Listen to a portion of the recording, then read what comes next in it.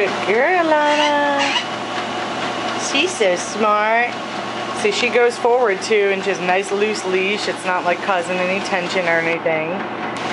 She's so good girl. Good girl.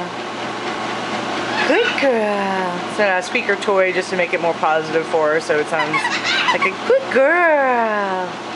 She's so smart, girl. Huh? She's smart girl.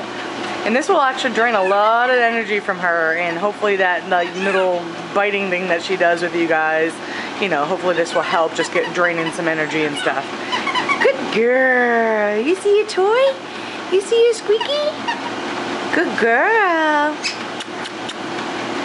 Very pretty. See her tail's up. She's moving along forward, so she naturally is gonna wanna carry that tail with pride and you know so but she's really smart she's such a sweet little dog so but we'll you know we'll do this since it's raining out and I don't have really you know a lot of you know way to walk the dogs around the neighborhood since I live out in the country and there's a lot of random loose dogs, but um, but you know, my fenced-in backyard, she can go out to go potty in, and then a little exercise. But I wish my yard wasn't a mud pit right now. but anyhow, well, Sophia, I hope you like this, and your dog is in good hands. I just want to let you know, okay? All right, talk to you later. Bye-bye.